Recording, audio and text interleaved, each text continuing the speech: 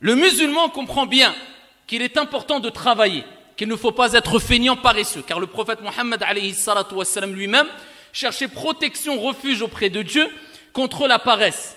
Et il faisait une invocation connue que le musulman répète de jour comme de nuit.